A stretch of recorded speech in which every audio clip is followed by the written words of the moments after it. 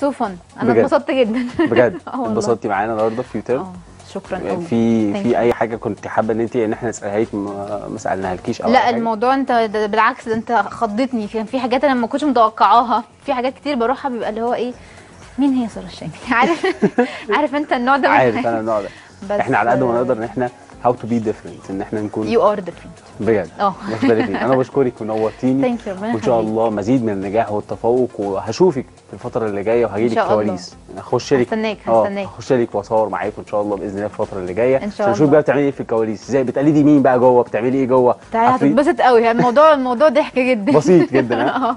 بشكرك يا سارة جدا. شكرا جدا merci thank you